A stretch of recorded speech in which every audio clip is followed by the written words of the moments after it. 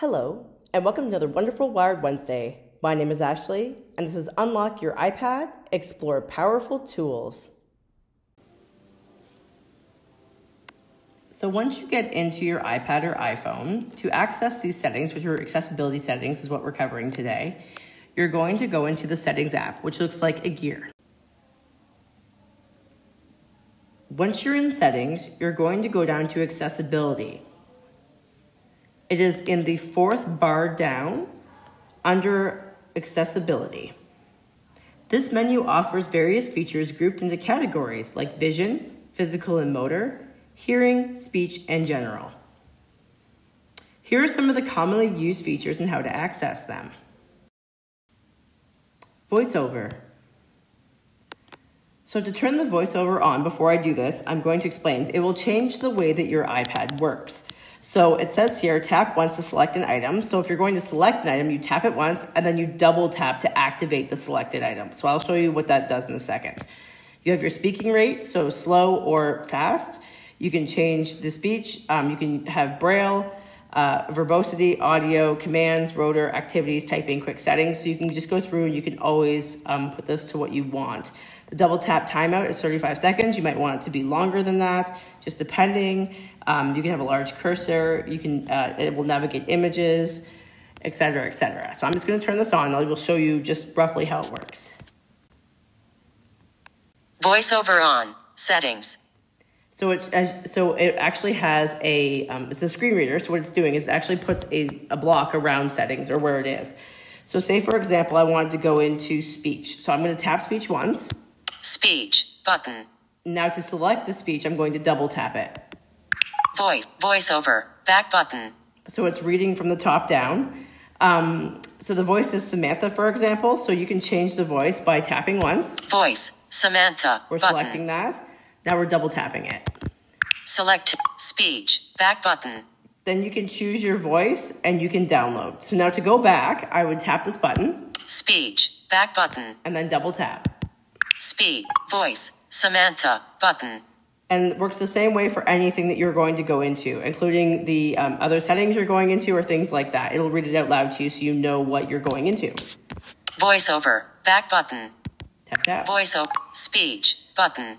So now I'm going to go and I'm going to go to voiceover and turn it off. So I'm going to tap on voiceover. Voiceover. Once, Switch button on.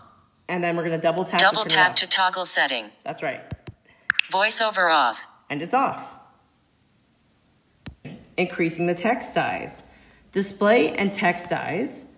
You can, from here you can choose to bold your text. You'll see that it'll start to change as I go. Larger text, so you can actually hit that so it goes on it gives you the biggest size so far, and then you can go into accessibility sizes by toggling this button on. And then you just go over to the biggest A that you see, and that will make it bigger for you.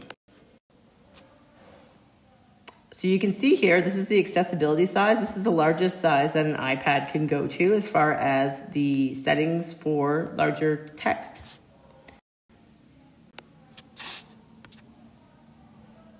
You can do the button shapes, so it will change how the, the button shapes as well.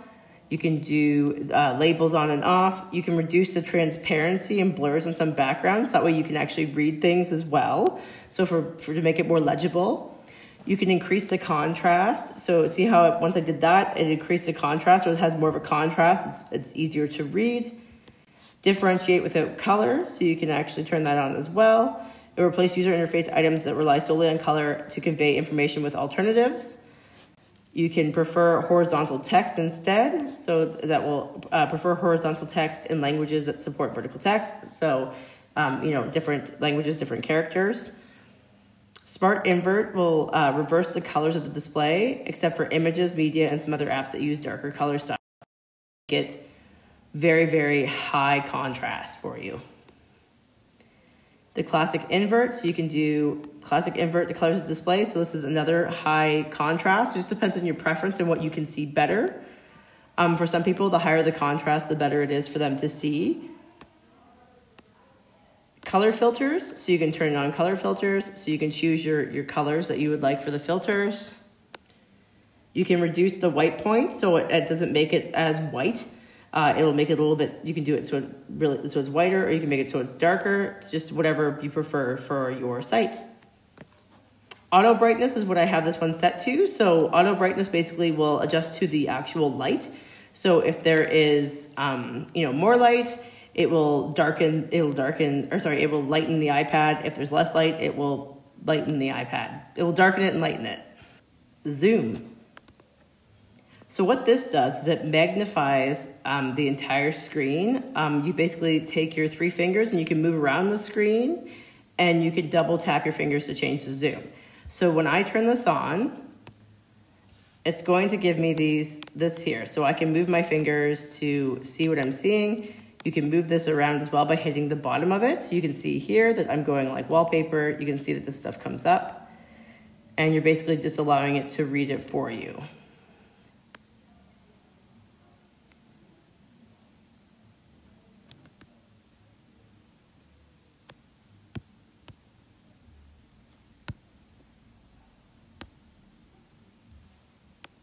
Hover over text is on. So display large text view of items under the pointer. So you can do that as well. Motion. So you can reduce the motion of the user interface, including the parallax effect on icons. So things that are like shaking, you can make that so it doesn't happen. Um, autoplay message effects allows full screen effects in the messages app to autoplay uh, controls whether images animate on the web or in apps. You can autoplay animated images. You can dim flashing lights, so that way things aren't flashing uh, while you're trying to look at things. Um, you can autoplay preview videos. So these are just motion things that you can do. So you can reduce the motion on here as well, so that way it's not so stark with the motion.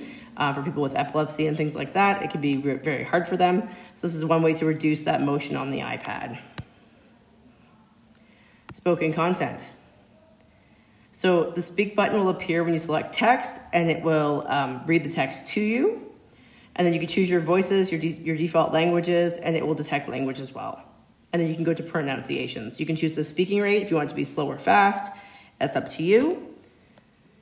And then auto descriptions, audio descriptions. Uh, when available, they'll play audio descriptions of um, things that you see on a website.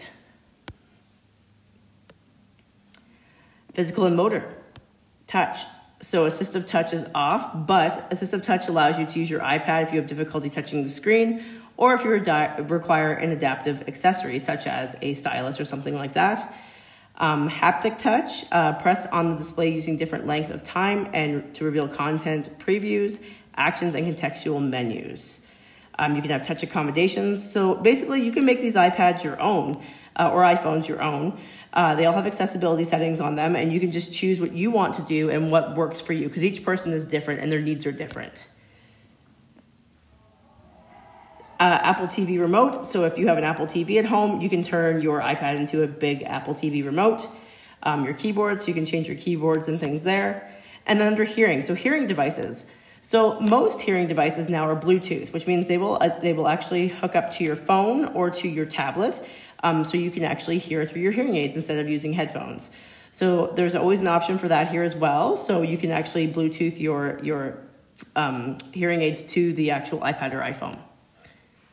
Hearing control center. So once again, there's accommodations for everything. To see the, you can uh, move these around. So it's just saying what they want. And if you don't want these, you can actually just hit the little um, the red no button to get rid of them as well. Um, conversation boost means that it's going to boost the hearing. Um, so basically, it'll make it louder for you. So that way, it knows that you have hearing aids in. It will make it louder so you can actually hear it. Audio visual. So there's headphone accommodations that you can choose from. So you can just go in. You can um, you can custom your audio setup as well. Uh, background sounds. So if you want to mask unwanted environmental noise, you can actually have background sounds turned on and then it will help you to minimize distractions you can focus or have calm or, or rest time. Uh, mono audio, so just like with the old headphones, uh, make left and right speakers play the same content, and then you can balance that as well, depending on you know maybe you don't have hearing in your right side, your hearing's in your left. You can balance it. You can balance it out.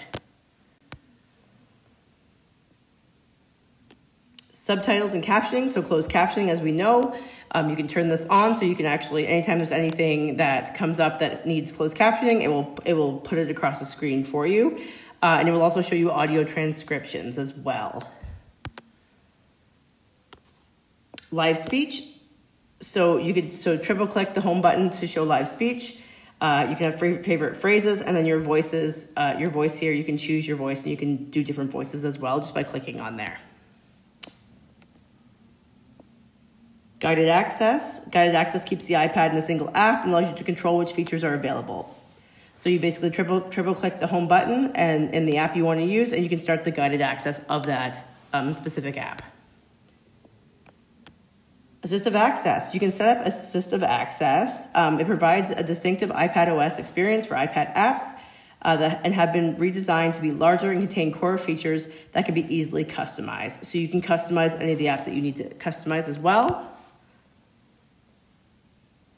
The accessibility shortcuts, you can actually have an accessibility shortcut on your home screen as well. You can just choose any one of these and you can add them so you can easily access them from your home screen instead of going into this um, settings app as well.